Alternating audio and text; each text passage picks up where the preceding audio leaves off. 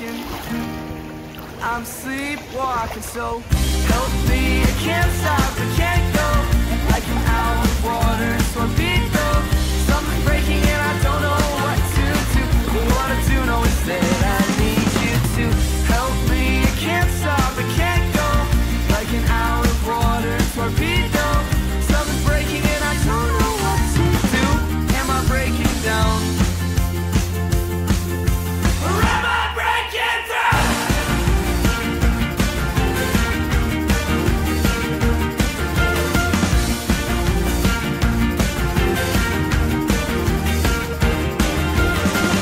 I've been thinking about the years to come because I have